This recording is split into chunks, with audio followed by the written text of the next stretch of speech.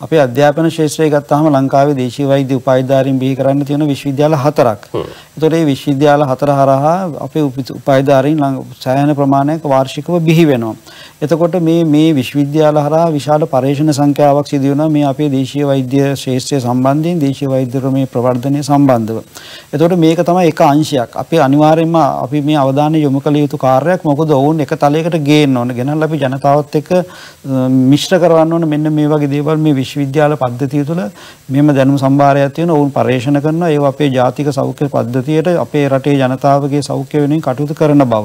ඒ වගේම අපේ පාරම්පරික වෛද්‍ය අංශයක් තවදුරටත් තියෙනවා. අපේ රටේ වසර දහස් ගානක සිට දෙන පාරම්පරික වෛද්‍ය අංශය. ඔවුන්ගේ ශක්්‍යතා දක්ෂතා සහ ඔවුන් කරන කියන දේවලුත් අපි මේ මේ එකම තලයකට ගේන්න ඕන. එතකොට මේ මේ මේ ප්‍රදර්ශනයක් කියලා අපි මේක කිව්වට මේකේ අපි ප්‍රමුඛ කරලා තියෙන අධ්‍යාපන කාර්යය. ඒ අධ්‍යාපන කාර්යාවලිය තුල අපි මේකේ තියෙනවා විශේෂ සංభాෂාවක්. ඒ කියන්නේ මේකේ පරීක්ෂණ පත්‍රිකා 220ක් ඉදිරිපත් වෙනවා. ඒ පරීක්ෂණ පත්‍රිකා ලංකාවේ පරීක්ෂණ පත්‍රිකා විතරක් නෙවෙයි වෙනත් රටවල පරීක්ෂණ පත්‍රිකා ඒ වගේම ලංකාවේ විද්‍යාර්ථීන් විදේශීය විද්‍යාර්ථීන් සහ ඒ වගේ විද්‍යාඥයින් ඇවිල්ලා මේ දවස් 3ක ලොකු විශේෂ මේ දැනුම සම්බන්ධව කතිකාවතක් ක්‍රියාත්මක වෙනවා මේකේ ප්‍රධානතම අපේ ඉලක්කය තමයි ඒ කාරණය. ඒකත් එක්කම ඊට අමතරව ලංකාවේ ඉන්න තවත් විද්‍යාඥ කණ්ඩායමක් සහ විදේශීය විද්‍යාඥ කණ්ඩායමක් එකතු වෙලා මේ දේශීය වෛද්‍යර මේ අලුතෙන් දැන් ලෝකයෙන් කතා කරනවා මේ one health කියන එක.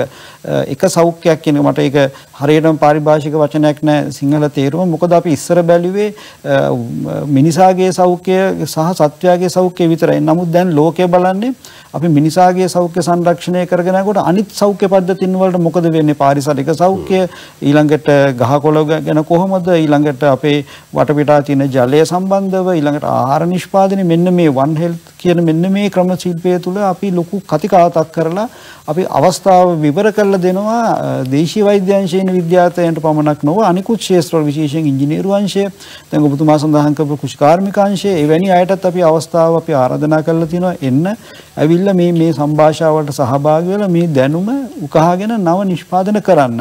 අපි ඒකට මේ මේ අපේ මේ ප්‍රදර්ශන මේ භූමිය තුල අපි වෙනම හදලා තියෙනවා ක්‍රමවේදයක් අපි ඒකට කියන ව්‍යාපාරික හමු කියලා.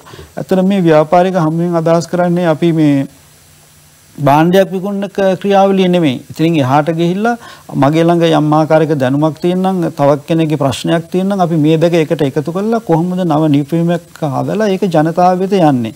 ඒතර අපේ සෞඛ්‍ය බර අඩු කරගන්න. මොකද දැන් අර අපේ ගරු අමාත්‍යතුමා කලින් පැහැදිලි කළ ආකාරයට මේ ඖෂධ මත යැපෙන කියන මේ සමාජ ක්‍රමවේදය තුල අපි ඖෂධ වලින් තොරව, නිර්ඖෂධ වලින් කොහොමද අපි මේ ජීවිතය ගත කරගන්නේ? ඉතින් දැන් අපි දන්නවා අපි අපේ දැනට දැනටත් අපේ සමාජයේ හුරු වෙලා තියෙන යම් යම් බණ භාවනා ක්‍රම මනස දියුණු කරගැනීමේ ක්‍රම ඒ වගේම යෝග අභ්‍යාස සහ ඒ ඒ කටයුතු මෙන්න මේව දේවලුත් අපි මේ තුල අපි සාකච්ඡා කරනවා. ඒ කියන්නේ අපි ගොඩක් වෙලාවට හිතන්නේ ප්‍රදර්ශනයක් කිව්වන් පස්සේ මේ කාගේ හරි භාණ්ඩයක් ගැනලා ඒ කියන්නේ ඒක විසිතුරු ආකාරයෙන් ඉදිරිපත් කරලා ඒක ජනතාවට විකුණනවා කියලා. නමුත් ඊට එහා ලොකු දෙයක් අපි කරනවා.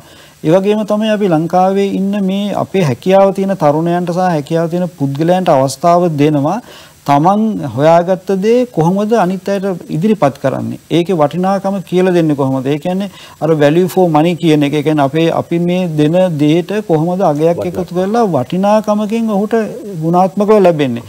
මොකද එහෙම වුණොත් විතරයි අපිට මේ අර ගුණාත්මක නොවන දේවල්, අවිශ්වාසික දේවල් අපිට බැහැර කරන්න පුළුවන්.